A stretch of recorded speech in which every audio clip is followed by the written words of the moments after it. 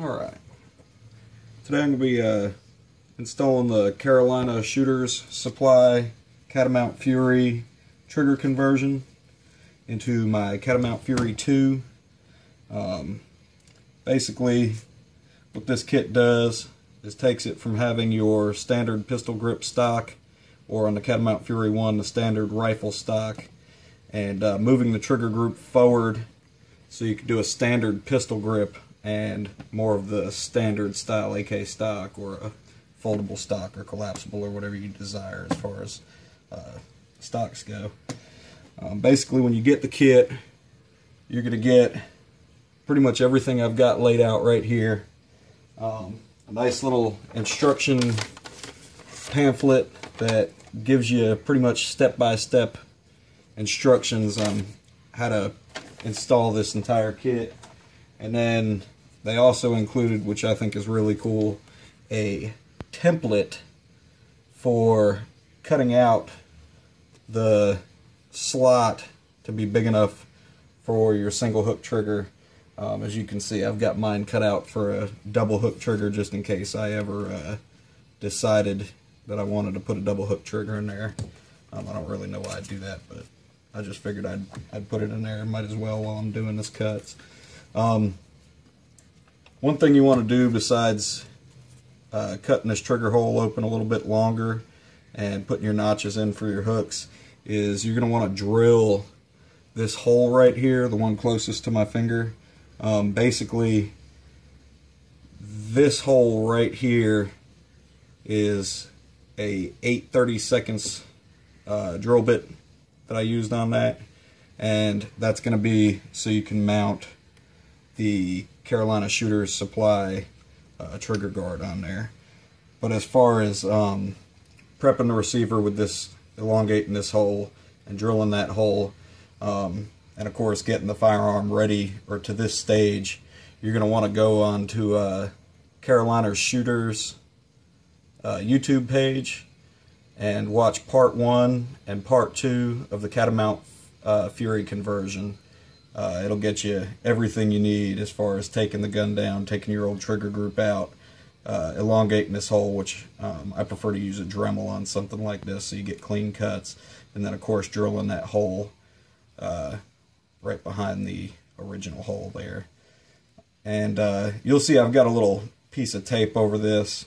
This is just because I've got a square cut out here for a standard AK grip nut um, which I won't be using on this conversion.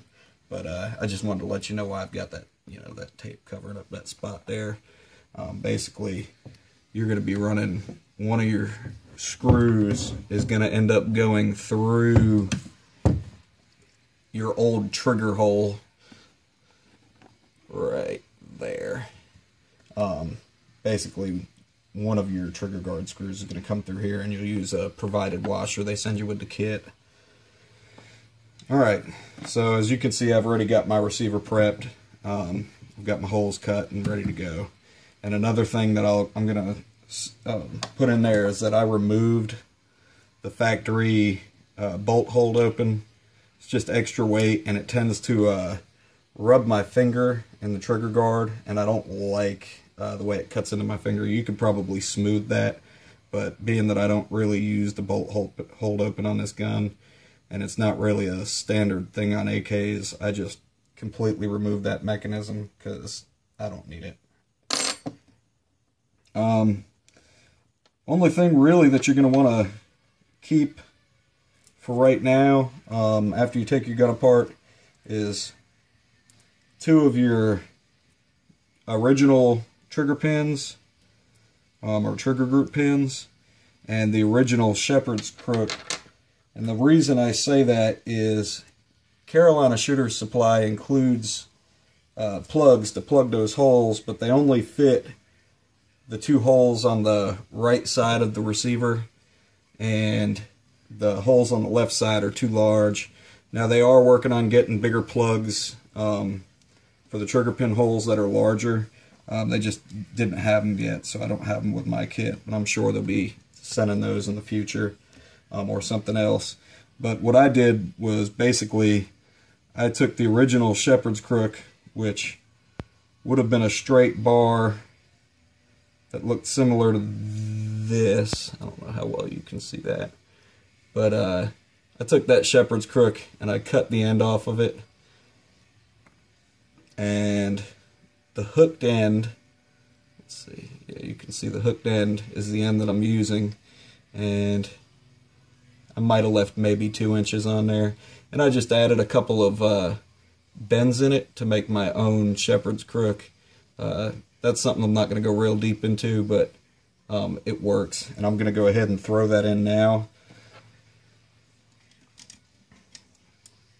Basically, uh, I'm not a big fan of the plastic plugs that people use to plug the holes in the receivers when they do these conversion kits. Uh, so I, I preferred to uh, stick with a standard shepherd's crook style. And the two farthest back holes um, for your original trigger group are not in use with this conversion kit. So I'm going to go ahead and um, put the original pin back in that hole and that hole. They're the two holes side by side um, on the farthest back lowest two holes. So just give me one second and I'll kick these into place. Like I said, I kind of made my own little shepherd's crook there, so that's something you may may want to try to do. Otherwise, um, you can get uh, hole hole plugs that'll fit those. Um, but it's just you know personal preference for me.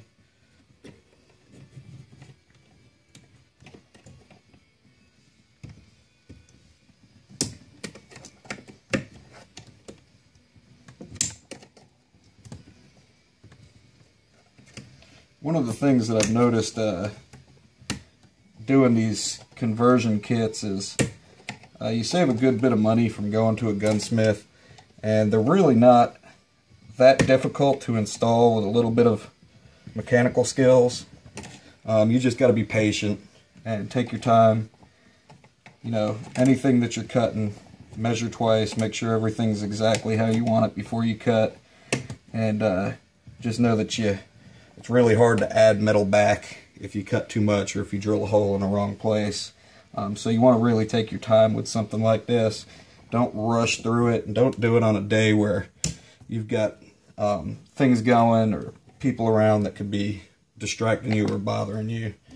But yeah, basically you can see I've got the two holes plugged with the original pins now. And I don't know if I can get a shot of it.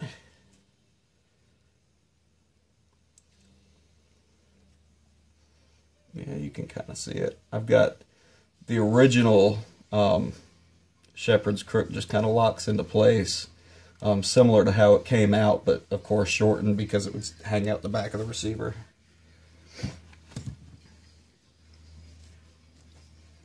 Alright, so now that I did that with the original pins, I can just set these hole plugs to the side, uh, maybe for a different project or something.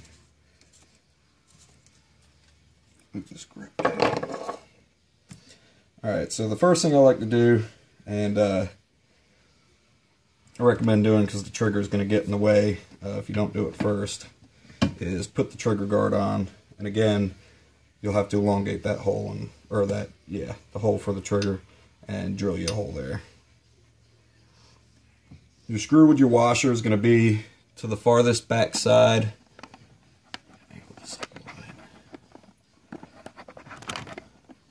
to the farthest back side here where my finger is.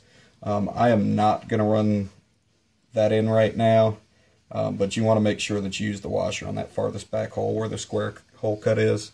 Um, that washer will keep it from popping through on you in the future. Alright, so I'm going to flip this over and hold my trigger guard in place.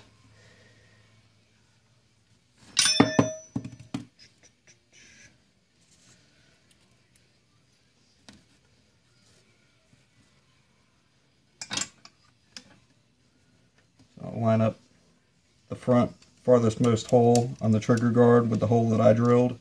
Um, you want to make sure that you put it in the hole you drilled and not the factory hole because the rest of the holes won't line up on the receiver. Um, and of course you'll you'll notice if you put it in the wrong hole because your other holes will not line up. And you really you want to drill your hole there as close to the other hole as you can get kind of without breaking through. Um, otherwise you'll have to kind of flex the uh, trigger guard a little bit to line up that second screw.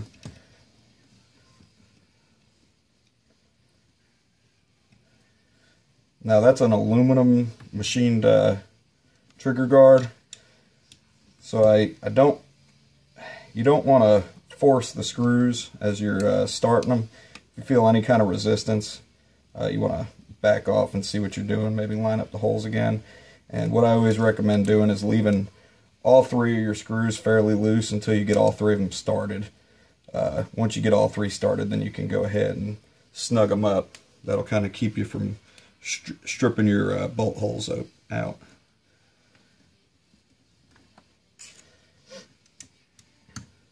With these, I would recommend putting a drop of blue Loctite on each screw. Uh, kind of keep them from vibrating loose on you in the future. But it's not a, super big deal because these do, they tend to lock in pretty well with the uh, aluminum. Alright, so I've got that installed. You can see that looks real nice on there. Next thing I'm going to do is go ahead and just put my trigger group together. What you want is, uh, you've got a, a disconnector spring. You're going to put that into the actual disconnector and you want to be careful not to lose that. And there's a little uh, slot that's cut for that spring inside of the trigger. You just set it in there and then I kind of use my fingers to line it up and you're going to use this uh, roll pin. It's more of a tunnel roll pin, but you're going to use that to hold your disconnect in place and it just kind of slides through there. It's snug, um, but you can slide it with your fingers. You shouldn't have to uh, hit this with a hammer at all. If it's not wanting to go through, you're just not lining it up well. And I like to just kind of center that up and make sure that your disconnect uh, moves freely. As far as your hammer goes, um, you can see they kind of machined one side down and right here. I'm not sure what they machined that for, but it, I'm sure it's to clear something uh, inside of the receiver that isn't normal on like your uh, standard AKs or your uh, Saiga 12s. But they do really good machine work. I mean, that's that's clean. As far as uh, your standard pins, you don't want to lube those with a wet lube, or I don't recommend you lube those with a wet lube. I would use a graphite, if anything, because the wet lubes tend to attract dust and dirt and just tear things up worse than they are. But uh, what I'm going to do is, basically with the hammer facing up, so if the gun was sitting normal like this, your hammer is going to sit inside of there like this. You want your hammer spring with the loop kind of flat with the ground and up. If it's down, that's no good. So with it sitting just like that, I'm going to work one side in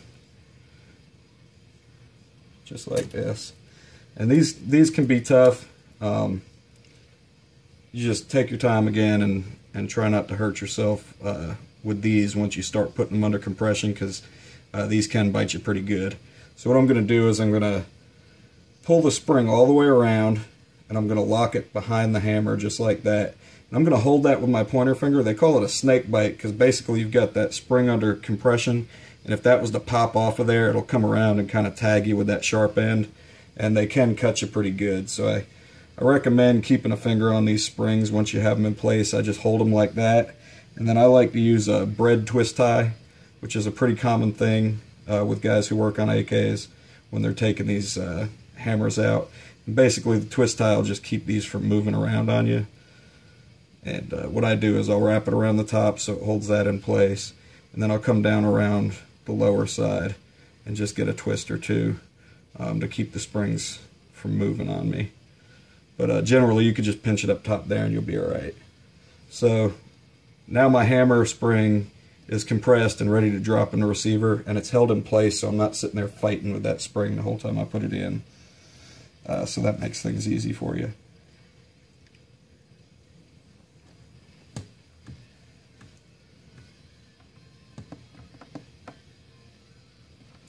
what I just noticed is I, I left the, the safety stop out. That's not a big deal um, as far as where I'm at. Uh, basically this piece right here is going to go underneath the trigger guard right there. and it just keeps your safety from dropping down below the receiver. So let me go ahead before I start putting this trigger group in and put that in there. It's pretty important to have that part. Um, without that, your safety can go down a little too far, and uh, you don't you don't want that. So I'm just going to take this front screw out. It goes underneath the farthest forward screw on your trigger guard. I'm going to loosen this back one up just a little bit.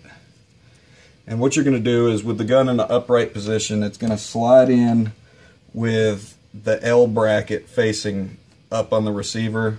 And like I said, that's going to act as a stop for your safety. And it's got a hole drilled so you can run your screw down through that. Sorry I left that out, guys. That's, kind of important. And again, I'm just going to tighten these up. I don't recommend with that size screw going much over, uh, you know, 25 or 30 inch pounds. But again, if you just put uh, a drop of blue Loctite on there and snug those up, they'll be perfectly fine. You can see I've got that on there now, and what that'll do is it'll keep my safety from dropping down past a certain point. Um, and that's, again, that's cut really nice. It's it's not, uh, doesn't have any real sharp edges or anything like that.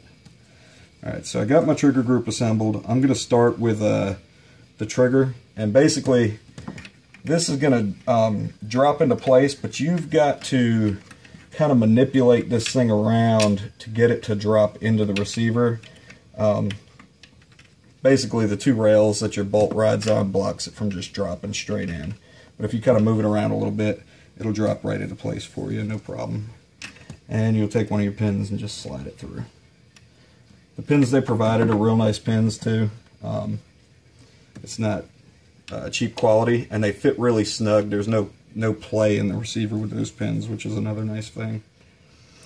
All right, with the hammer, once I have that pin in place, I'm going to come in with the hammer. Um, your spring may stick out a little bit. You just got to, same concept, kind of put it in at an angle and wiggle it around until it slides into place.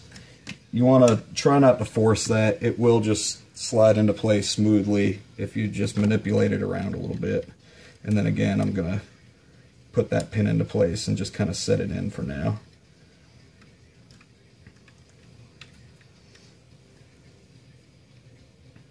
Alright. As you can see, with the uh, hammer spring tied up, it, it makes it real easy to move everything around and get it into place the last thing you want to do when you're putting your trigger group in is uh, you're going to slide your shepherd's crook into place. I had to trim, I'd say roughly an eighth inch, maybe a little bit more than an eighth inch off the end of this because it was coming into contact um, with part of the receiver up here and uh, it just wasn't setting into place properly. So like I said, I just, I basically took it and uh, and just trimmed a little bit off of there and it, it made it fit perfectly for me so.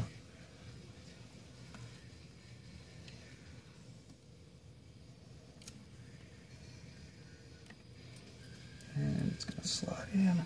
I like to use needle nose when I'm moving these things around. Um, with my hands they tend to I can't get my hands in there with them. So what I'm gonna do is it's just gonna slide into place back here and the long side goes down and the little loop in the back with the short end goes over the back. And the short end is just going to stick straight up and you take the long end and you're actually going to pick it up over the front pin. So it's going to it's basically going to come down around the back pin and then up and on top of the front pin. So you know you can hold it in place with a pair of needle nose on the back pin and as you start to push it forward, I like to take a flathead and just kind of pick up on it and then use the needle nose to slide it forward. This could take uh, some practice to do if you've never done it before. Uh, don't lose faith.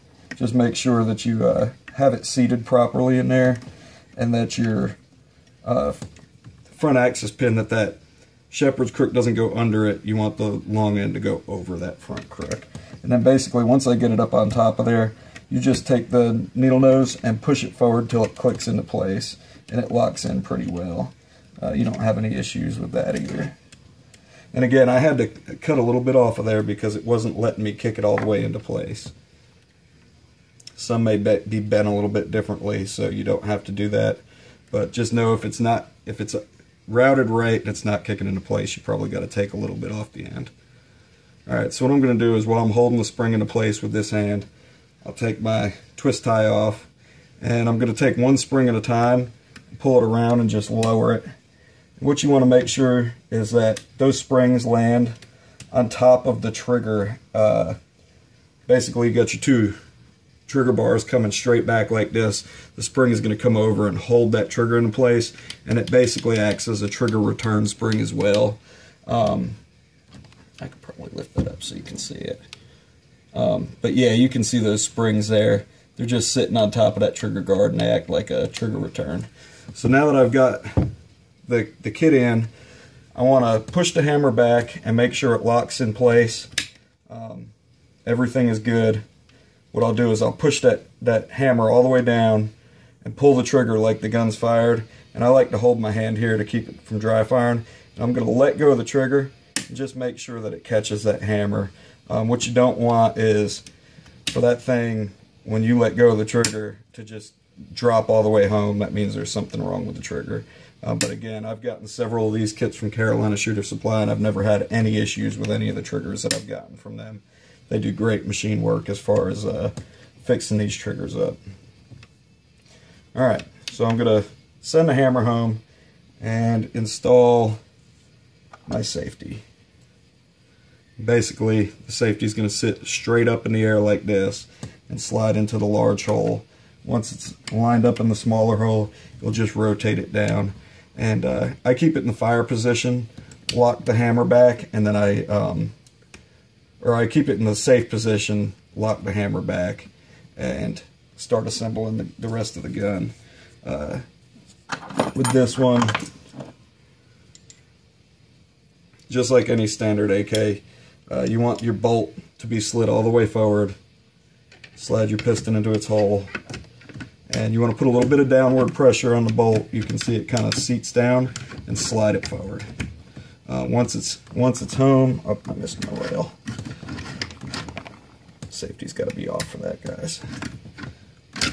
There we go. You can see it kind of kick down in there and then slides home.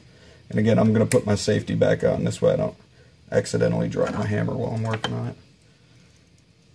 And slide that spring into place. You want to make sure that this uh, little guard they put on there doesn't drop down behind uh, the bolt carrier like this because you can break these off. And there we go. And once that's set into place, um, I just like to kind of pull this up so it's a little higher than it would